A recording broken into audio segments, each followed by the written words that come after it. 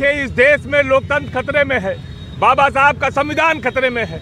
हमें हक है आज़ादी आर्टिकल फोर्टी वन हमें मौका दिया गया अपनी बात रखने का। हम अपनी बात रख सकते हैं, विपक्ष अपनी बात रख सकता है।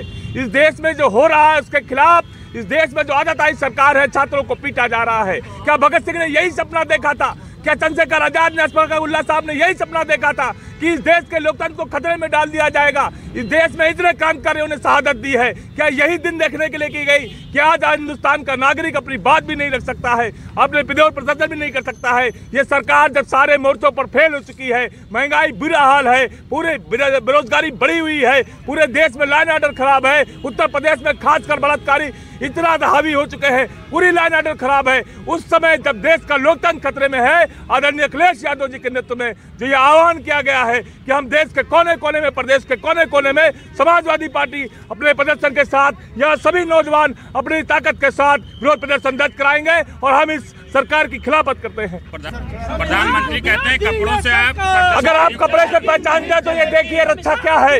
ये देखिए हमारे हाथों में क्या है। हमारे माथों पर टीका क्या है। आप हमसे ज़्यादा हिंदू थोड़ी है। हम हम इस देश के रवाने हैं। आप सोचिए भगत सिंह कहा करते थे? इस देश से गोरे अंग्रेज़ चले गए तो कार्य अंग्रेज़ आगे हो जाएँगे। इस देश में आप नौजवानों को छात्रों को आवाज़ उठाने से रोक नहीं सकते हैं।